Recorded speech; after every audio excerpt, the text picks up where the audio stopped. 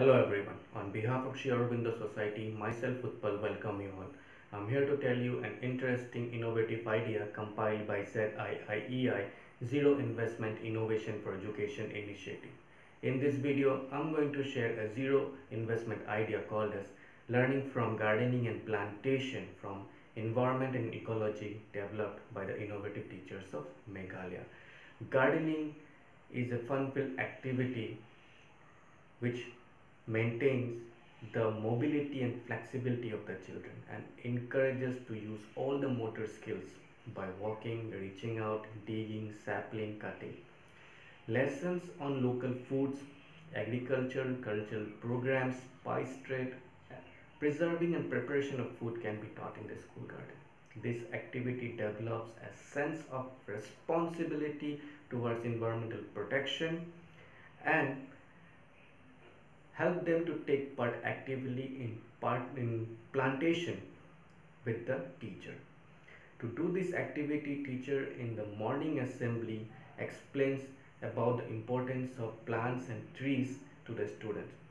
The only motive is to orient the student about the environmental protection and sustainability and explains them how the deforestation can cause global warming and how CO2 are absorbed by the plants and gives out oxygen and how CO2 is responsible for the global warming and how afforestation can help to control and preserve the nature.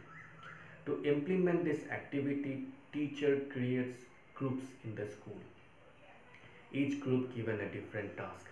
For example, group A has given a task to collect or arrange a sapling for flowering plants and group B will be given a task to arrange the sapling of the shady trees.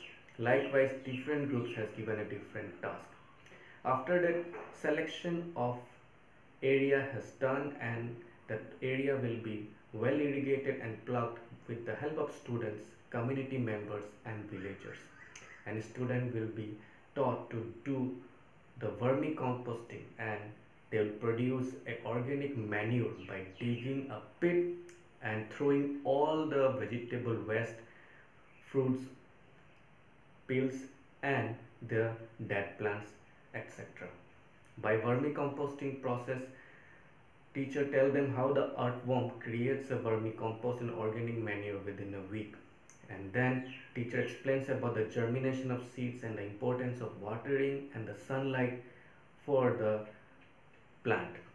And when from the seed plant grows, teacher explains about the importance of each and every part of the plant. For example, roots are for food and nutrient, stems for the transport of nutrients and the support of the plant, likewise the leaves for photosynthesis. All the plantation activity will be done under the supervision of the teacher. Teacher explains about the importance of trees and plants and different parts of the plant based on the grade level of the school teacher take utmost care to assign the task in the school. For example, grade 1 and 2 will be given a task to observe the plant and the soil so that they should not involve in the activity which can litter or soil their clothes. For grades 3, 4 and 5, they will given the responsibility for watering the plant and for the higher class, they will be taking care of the plants and note down the growth of the plant. I hope you're going to implement this activity in your school and classroom. For this kind of more videos, please subscribe ZIIEI YouTube channel. And if you're watching this video on Facebook, we request you to please like our page. Thank you.